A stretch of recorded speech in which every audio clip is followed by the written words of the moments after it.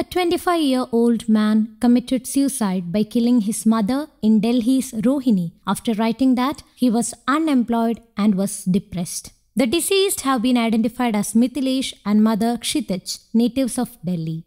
The incident took place on Sunday. Mithilesh's dead body was found with wounds on his neck.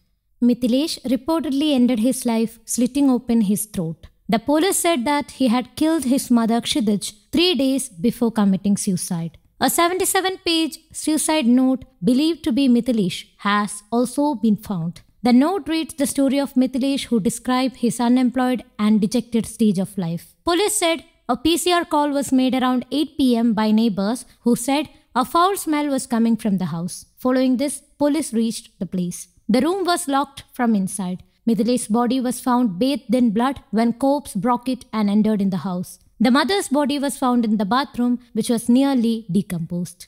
The investigating officer reached the spot and found the main door bolted from inside. Staff broke into the house from the balcony and found a man in a pool of blood. A body of a woman was found in the washroom. It was highly decomposed. We also found a suicide note of about 77 pages at the spot written by Kshitij. In the note, Kshitij admitted that he killed his mother on Thursday. Later, he died by slitting his neck. We sent crime teams and forensic science lab teams to the spot. Legal action has been initiated in the case, the DCP said.